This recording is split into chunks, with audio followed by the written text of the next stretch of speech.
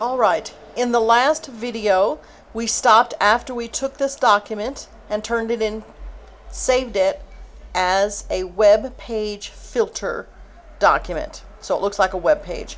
Now we're ready to convert the book. So we open up our Mobi Pocket Creator. That's one of the free programs I had you download and install. On the main page, you click HTML document. We are now converting your document into the Mobi Pocket format, which is the format that is the quickest and easiest to upload to Amazon Kindle so that you get reviewed very quickly and passed and your book gets uh, on becomes available and selling online as fast as possible and you will not receive any or very very few rejections in the review process because this puts the book together uh, so well. So we click on Browse, find your book here. It's the one with the icon for the browsers. We click Open, click Import. Um, I already did this once, so I'm going to override it. You won't see that.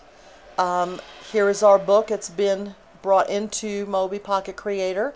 We come over to the left and click on Cover Image because now is when we put the cover image back so that it will convert in the highest quality as possible. That's why in the beginning videos I had you take the image out if you had it on the first page of your ebook or report. So click on add cover image. I put my cover image in the same file as my uh, ebook um, that I'm going to convert so it's quick and easy to find. Click open. Now down here, hopefully you can see it. If not, uh, right below the cover image is a button that says update. You click on update. Now we're ready to build the ebook. You click on build. Standard compression, make sure that that is, that is got the green dot in there. I use no encryption. And then we click on build. And what was that? Just a couple of seconds? Your ebook has now been converted to the Mobi Pocket uh, ebook format. Now we want to make sure that the green dot is an open folder containing ebook and then we click on OK and we receive this dialog box.